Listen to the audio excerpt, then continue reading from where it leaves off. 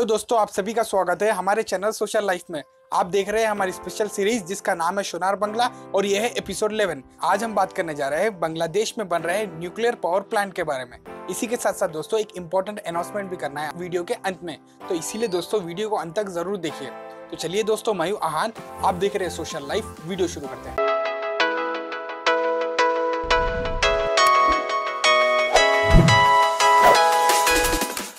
दोस्तों, वैसे तो बांग्लादेश में बहुत साल से कोशिश की जा रही थी न्यूक्लियर पावर प्लांट बनाने की, लेकिन लैंड एक्विजिशन कंस्ट्रक्शन कॉस्ट और सेफ्टी मेजरमेंट्स के कारण ये प्लांट पोस्टपोन होता गया। और दोस्तों फाइनली 30 नवंबर 2017 को बांग्लादेश में न्यूक्लियर पावर प्लांट का कंस्ट्रक्शन स्टार्ट हो चुका है। ये प्लांट रूपुर विलेज में बनाया जा रहा है, जो पपना डिस्ट्रिक्ट में आता है। ये करीब ढाका से डेढ़ किलोमीटर की दूरी पर है। दोस्तों, बांग्लादेश की पावर जनरेशन कैपेसिटी को बढ़ाने के लिए ये न्यूक्लियर पावर प्लांट बनाया जा रहा है। बांग्लादेश में पावर क्राइसिस चल रहा है और बांग्लादेश अपनी पावर कंजम्पशन के लिए दूसरे कंट्री से पावर इंपोर्ट करता है। ये न्यूक्लियर पावर प्लांट कंप्लीट होने के बाद 2.4 गीगावाट्स की एनर्जी दे सकता है और इसमें दो न्यूक्लियर रिएक्टर्स होंगे और एक न्यूक्लियर रिएक्टर की जनरेशन कैपेसिटी 1.2 गीगावाट्स होगी। यानी टोटल न्यूक्लियर पावर जनरेशन की कैपेसिटी 2.4 गीगावाट्स होगी। दोस्तों, पहला न्यूक्लियर रिएक्टर 2023 मार्च तक कंप्लीट करने का एस्टिमेशन है और दूसरा न्यूक्लियर रिएक्टर 2024 तक कंप्लीट करने का प्लान है। और इस न्यूक्लियर पावर प्लांट का कंस्ट्रक्शन रशिया की Ros atomic state energy corporation बना रही है। इसी के साथ साथ दोस्तों इंडिया भी रशिया और बांग्लादेश को हेल्प कर रहा है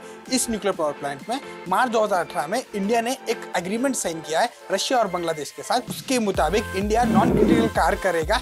जिसमें कंस्ट्रक्शन और इंस्टॉलेशन का काम भी किया जाएगा। उसी के साथ साथ दोस्तों आई यानी इंटरनेशनल ऑटोमिक एनर्जी एजेंसी भी बांग्लादेश को असिस्ट कर रही है इस न्यूक्लियर पावर प्लांट में। और दोस्तों, इस न्यूक्लियर पावर रिएक्टर का टाइप PWR है, यानी प्रेजराइज वाटर रिएक्टर सिस्टम जो दुनिया में सबसे ज़्यादा इस्तेमाल किया जाता है। और जैसे ही न्यूक्लियर पावर प्लांट कंप्लीट हो जाएगा बांग्लादेश वर्ल्ड की थर्टी सेकंड कंट्री हो जाएगी, जिसके पास न्यूक्लियर पावर जनरेशन होगा। दोस्तों, जैसे ही 2023 में ये न्यूक्लियर पावर प्लांट ऑपरेशन में आ जाएगा, तब रशिया की state company Rosatom state corporation limited इस पावर प्लांट को एक साल तक चलाएगी और एक साल के बाद ये बांग्लादेश को सौंप देगी और बांग्लादेश की एटॉमिक एनर्जी कमीशन जो 1963 में फॉर्म हुई है, वो इस न्यूक्लियर प्लांट को चलाएगी। इसकी लाइफ स्पैन 60 इयर्स तक एक्सपेक्ट की गई है। अब देखते हैं इस न्यूक्लियर पावर प्लांट का एस्टिमेटेड कॉस्ट दोस्तों, इसका total cost 12.6 billion dollar estimate किया गया है, जिसमें से 90 परसेंट रशियन गवर्नमेंट इन्वेस्ट कर रही है और 10 परसेंट बांग्लादेश की गवर्नमेंट इन्वेस्ट कर रही है। और दोस्तों, जो लोन बांग्लादेश को मिल रहा है, वो 20 साल के अंदर बांग्लादेश को चुकाना है। दोस्तों, अगर हम कंस्ट्रक्शन का प्रोग्रेस देखते हैं तो वो बहुत तेज़ी से हो रहा है। और कुछ ही दिन पहले बांग्लादेश ने एक बड़ा माइलस्टोन अचीव कर लिया है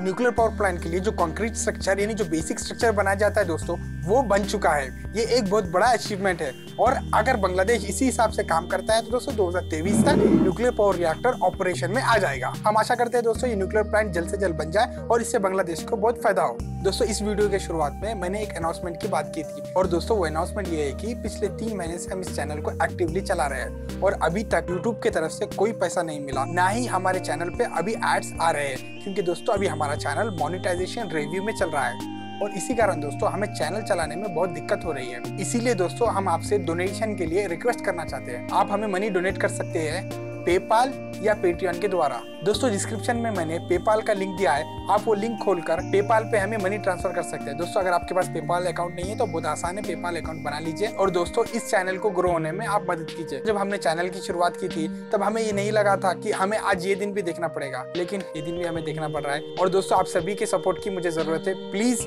हमें पेपाल या पेटीएम पे सपोर्ट कीजिए। वीडियो देखने के लिए आपका बहुत बहुत धन्यवाद। Thank you